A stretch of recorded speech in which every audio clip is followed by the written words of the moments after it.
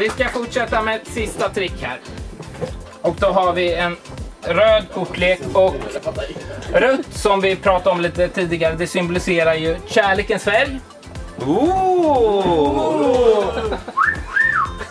Jag vill därför eh, bjuda upp Eskelinos käresta, Elin. Scenen. Vi tar det här vita kortet. Så gör vi så att vi lägger ner det här.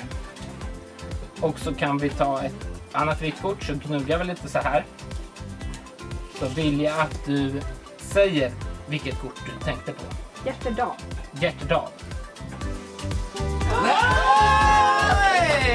Men, men, vi ska göra det ännu, ännu lite, lite svårare. Vi ska ta ytterligare ett vitt kort här.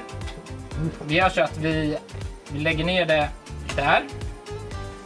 Jag måste göra er lite, lite besvikna faktiskt. Jag har ju den här vita. Även om jag liksom gnuggar och gnuggar och gnuggar så kommer jag faktiskt inte att lyckas med det här.